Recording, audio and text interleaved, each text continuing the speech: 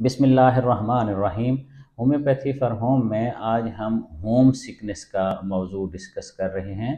बज़ाहिर तो ये सादा सी बात है लोगों को इतना इसका एहसास आम ज़िंदगी में नहीं होता, लेकिन जब कोई ऐसा मामला आता है जिससे बहुत बड़ा ज़िंदगी में चेंज आने का ख़तरा हो तो ये बड़ी बड़ी वाज अहमियत अख्तियार कर लेता है। मसलन एक बच्चे को आपने भेजा, बड़ी मुश्किल से किसी यूनिवर्सिटी में एडमिशन हुआ कॉलेज यूनिवर्सिटी मेडिकल या किसी भी शोबे में पैसा भी खर्च किया और हफ़्ता दस दिन, पंद्रह दिन के बाद उसने कहा, मैंने वहाँ नहीं रहना, मैंने नहीं पढ़ना, मैं वहाँ रह ही नहीं सकता।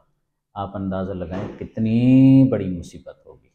उसका सारा मुस्तकबिल साल भी आमतौर पर ज़ाय हो जाता है, मुस्तकबिल भी सारा डिस्टर्ब है ये तो एक बात होगी दूसरी बात, किसी का कोई ट्रांसफ़र हुआ वक्ती तौर पर उसने कहीं एक सिटी से दूसरे सिटी जाना है, या इवन जॉब की नौीयत भी तो ऐसी हो सकती है ना, किसी इंसान को कभी कभार कहीं जाना पड़ जाए। बाज़ात ये होम सिकनेस इतनी शिद्दत से आ जाती है कि इंसान काम पे भी नहीं जाना चाहता।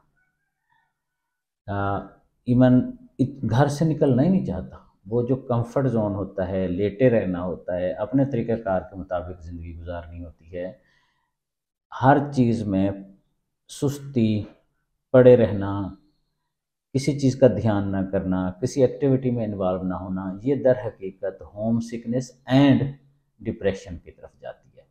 इसकी दवा है ब्रायोनिया ब्रायोनिया वन एम अगर शिद्दत ज़्यादा हो तो रोज़ाना तीन दफ़ा दे सकते हैं। अगर शिद्दत कम हो तो रोज़ाना एक बार दस कतरे देने से ये कैफियत वाज वाज तौर पर नॉर्मल हो जाती है।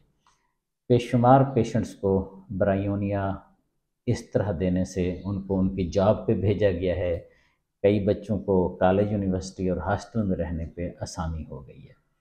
ये ज़िंदगी में बड़ी चेंज लाती है, डिप्रेशन से बचाती है और जो बच्चा या जो इंसान अपनी जॉब छोड़ के बैठ जाएगा, जो बच्चा कॉलेज, यूनिवर्सिटी छोड़ के बैठ जाएगा घर में तो सीधी सी बात है, अगली स्टेज डिप्रेशन की है।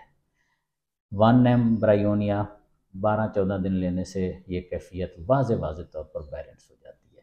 Thank you